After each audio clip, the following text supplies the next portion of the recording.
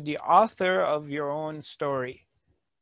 Can you influence the weather to manipulate it that you are driving from your home and going to the airport, that the weather cooperates with you and be perfect?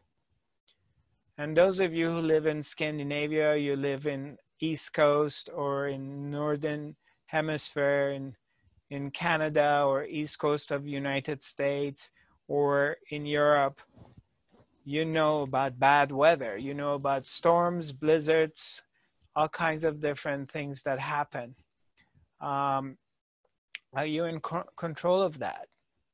So, in that day, when you're driving from home, to get to the airport, the weather has to say yes. So there's no hurricanes, there's no earthquakes, there's no blizzards, there's no storms, there's no um, excessive wind, whatever it is, everything is working. So when you're paying attention, when you're looking at this, when you just want to do a simple thing, and that simple thing is that you get in your car and drive to the airport. You get in your car and you want to go grocery shopping.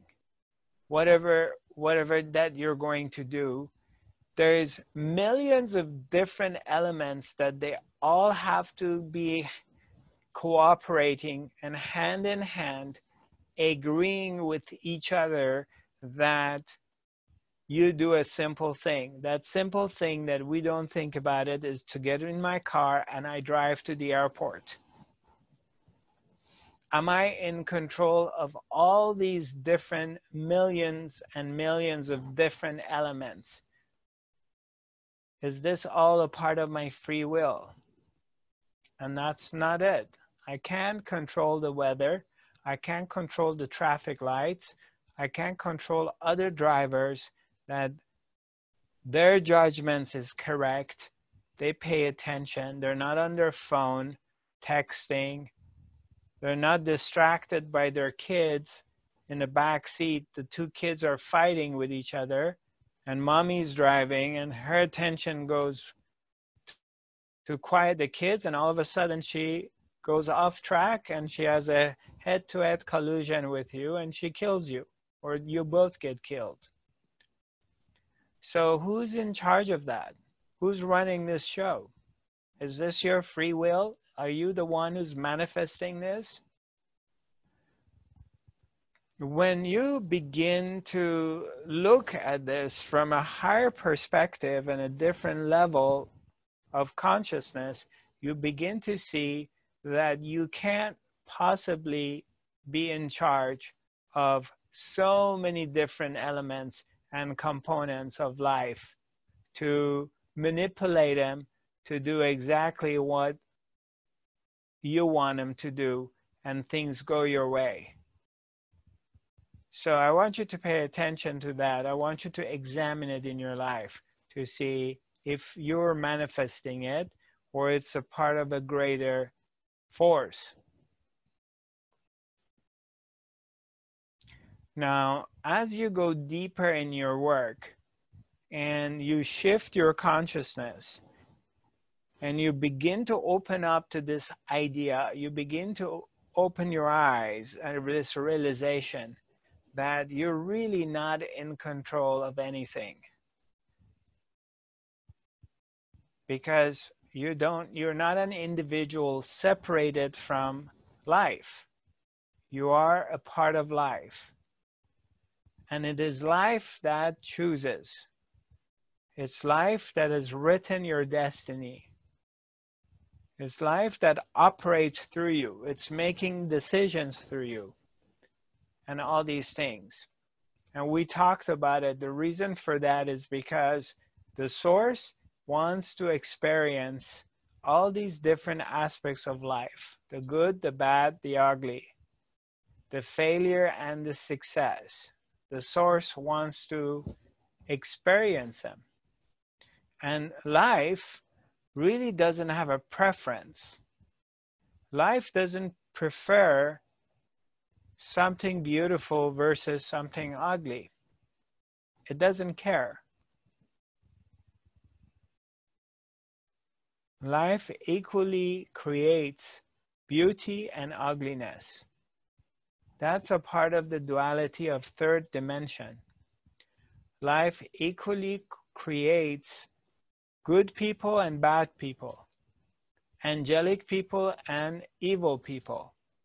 Life creates both of them and supports their existence. They're all parts of life. They're all manifestations of life. If life cared and wanted to prefer one thing over the other thing, then it would have been all angelic realms. It would all be forces of light and love and angels, and everyone's wearing white, and everybody's very peaceful, and everyone's very loving, and nothing bad ever happens in life. Everything is just positive and lovey dovey. But that's not how it is, is it? There's a lot of ugliness in the world. There's a lot of cruelty in the world. There's a lot of darkness in the world too. Why would life create that as well? Obviously, life doesn't have preferences. It doesn't prefer one over the other. It's producing and creating both of them simultaneously. It is us who have a judgment over it. It's us who prefer light over darkness. And if you were brought up in a condition that you enjoy darkness, then you don't like light. And we can see that there are the groups of human beings on this planet that they are attracted to the darkness.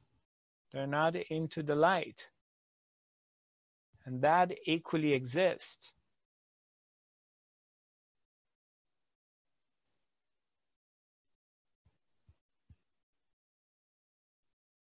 I want you to pay attention to that.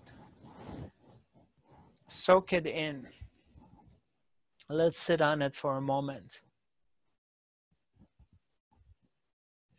We have darkness, we got negative stuff, we got disasters, we got wars, famine,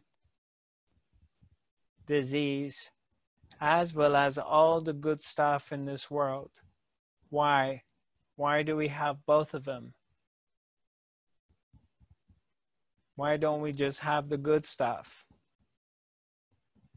It's because life produces both equally, and life is experience all of them simultaneously. They're all a part of the oneness. So are we. We are a part of the oneness, all of us.